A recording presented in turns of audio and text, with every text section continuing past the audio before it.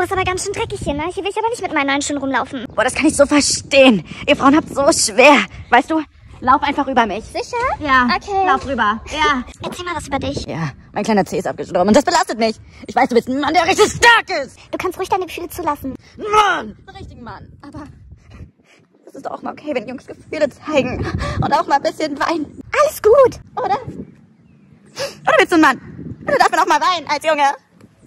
Oder so sitzen. Ist das okay? Nee, das ist zu viel. Ich finde mich halt auch mal süß. Und schnuckelig. Das ist zu viel. Oh Gott. Kannst du das für mich aufmachen? Ähm, okay. Bitte.